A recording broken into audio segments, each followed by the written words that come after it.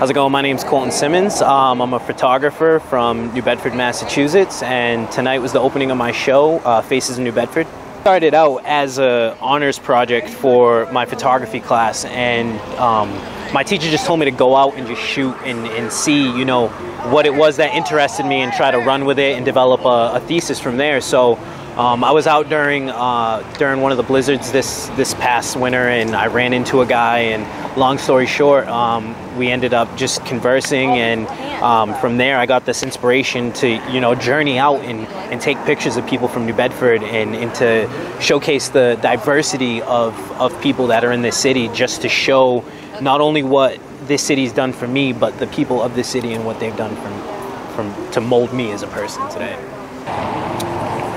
thinking about some of the people that I photographed that I enjoyed the most, um, Clyde, uh, everyone's favorite from the app, was like one of the adventurous things because I had, it was like a little mission. I would ask him if I could take his picture, and he was like, you know, you know, what am I going to get from this? And I was like, well, at the end of it, I'll, like, I'll give you your print. And, um, and he was like, you know, I could go for some cream soda. So I ended up running across the street to the, the store and grabbing him some cream soda. But, you know, it's people um, that like Clyde and, and like those that really don't have a voice in a community that I wanted to put the show on um, because all the profit from it is going to be going to benefit uh, United New Bedford, which is pulling organizations, churches, um, anybody who's willing to get their hands dirty and to hit the streets and to to just you know fill the need that's there for you know the people who are addicted to drugs, the people who are homeless, and the people who really don't have a voice in the city.